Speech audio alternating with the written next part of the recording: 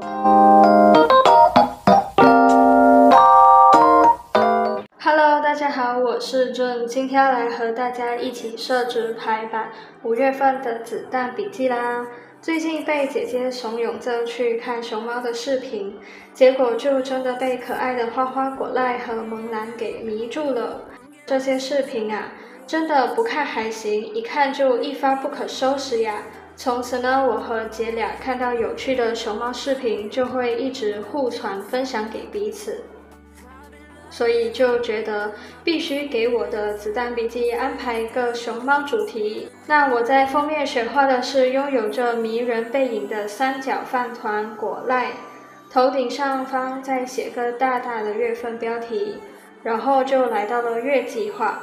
先在居中的位置划线，上方写上月份，然后再写下日期和星期的首字母，周末个别标记起来。左手边会用来记录月初和月中的各平台数据，以及用不同的颜色标记打卡习惯。右手边则会用来安排待办事项、记录外出或者重要事项等。我把右边页面设置成了每月复盘和总结的记录页，也会写下一些本月的高光、吸取的教训、领悟的道理等。接下来就是周计划和日计划。我在右上方画了浑身反骨、一身正气的萌男，看他那气势，简直可以出演功夫熊猫了呢。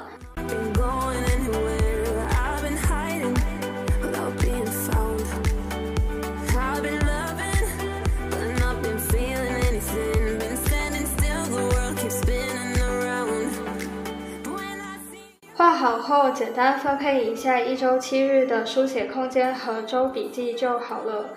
之后的这个星期，我画的是不是在越狱，就是在越狱路上的 Q 版萌男。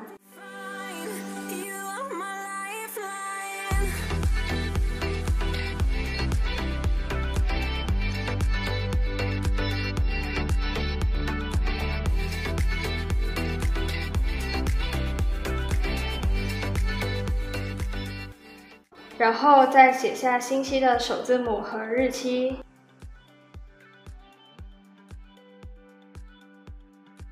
下一周依然画的是猛男，看到网友把这个画面想象成了他在打电话给他的奶爸，瞬间就被融化了，所以就必须给画上。I get this feeling, I wanna run away,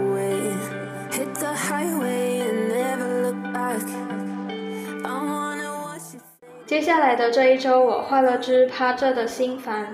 虽然很少刷到心烦的视频哈，但是觉得它这个趴着的姿势也太可爱了吧！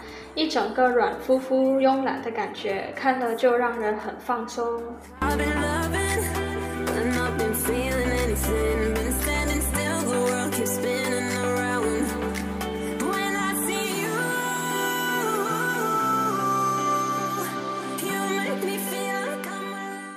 最后一周的部分，我画了手握小苹果的花花，左边页面写上日期和星期就好了。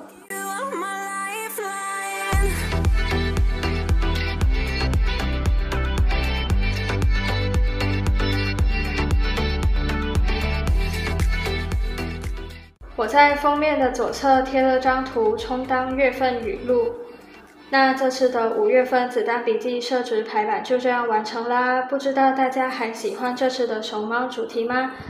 喜欢这支影片的朋友，不妨给我点赞和分享，也别忘了订阅和关注我。欢迎各位在底下留言告诉我你的看法与建议，同样欢迎各位提出你想看的设计主题或影片题材。希望我的影片对你们有所启发，一起做更好的自己。感谢大家的观看，那我们下个影片再见喽，拜拜。